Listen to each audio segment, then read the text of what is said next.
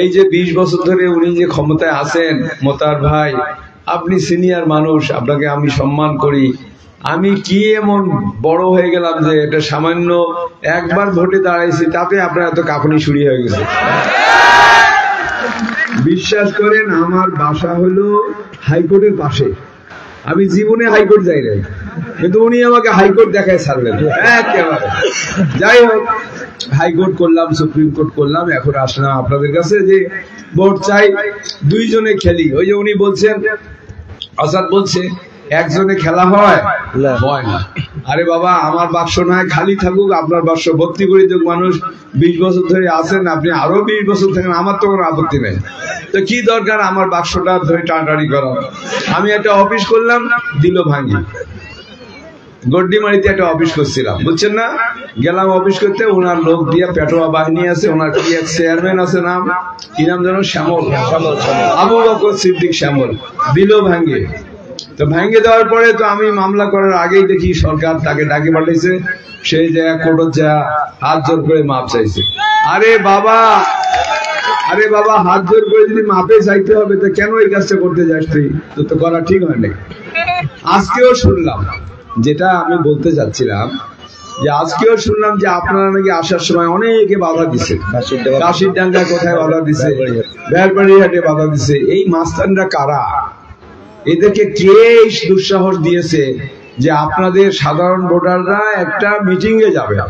এটা মোতাহার ভাই মিটিং এ যাইতে পারে আমারটা তো আসতে পারে জাতীয় পার্টিটা তো আসতে পারে। আজকে আল্লাহ দিলে জাতীয় পার্টির নেতারাও আমার সাথে আছে। তো এইখানে যেতে পারে। এইগুলো আপনাদের ভোটাধিকার প্রয়োগ করার জন্য আপনারা যেতেই পারেন। কেন আপনাদের এই আসার জন্য বাধা দিবে? কারা এরা? এরা কি আওয়ামী লীগ? এরা হলো হাইব্রিড আওয়ামী লীগ। এরা পয়সা খরচ করে নমিনেশন নিয়েছে।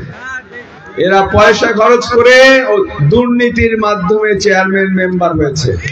যদি যারা যারা এই কাজগুলো করেছে, আমি তাদেরকে বলছি, যারা করেন নাই তাদের জন্য বলছি না।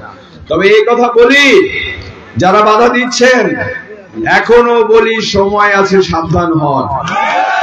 নইলে সাত তারিখের পরে খুঁজে পাওয়া যাবে না আপনাদের এত বড় দুঃসাহস। পাটগ্রামে আমার জন্ম, আমি পাটগ্রামের মানুষ।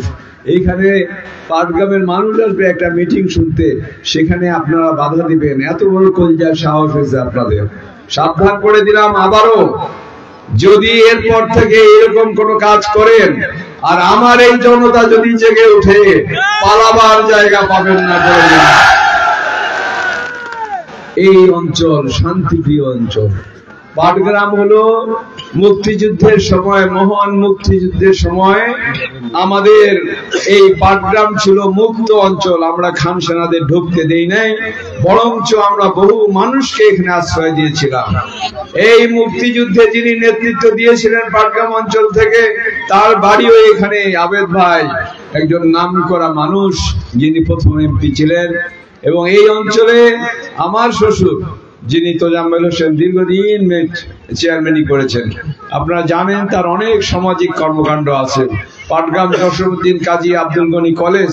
জসীমউদ্দিন হলে তার দাদার নামে সেই সময় এই কলেজ করা। মানে এই সমস্ত লোক, এই আবেদ সাহেব, এই যে নহিবর সাহেব, এই তোজাম্মেল হোসেন সাহেব, এনারাও রাজনীতি করেছেন। এনারাও পরস্পর এনাদের মধ্যে প্রতিযোগিতা ছিল। কিন্তু দিন শেষে তোজাম্মেল হোসেন ঠিকই নইবারকে নইবার চাষা বলেই সম্বোধন করতেন। আর এখন এমন যুগ আসছে, একটা বিরোধী দল যদি কেউ করে, কারও কেউ মুখ দেখে না, পারলে শত্রুতা করে তাকে কেমনে বসানো যায় সেই চেষ্টা করে। আমি যদি সংসদে যাই, আমি যদি নির্বাচিত হই তাহলে এই সমস্ত পারস্পরিক মতদৈধ্যতা এই সমস্ত একজনের বিরুদ্ধে আরেকজনের হয়রানিমূলক মামলা, ঝামলা, এগুলা কোনোটাই রাখব না। ইনশাআল্লাহ সব মানুষ একসাথে বসবাস আপনারা ভয় দেখাচ্ছেন কাকে?